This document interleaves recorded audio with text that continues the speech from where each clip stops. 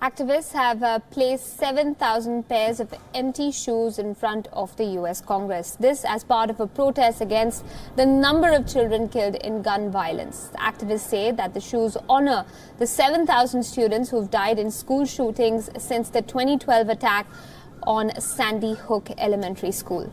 The gun debate in the U.S. has been reignited after a former school student killed 17 students at a Florida school in February this year.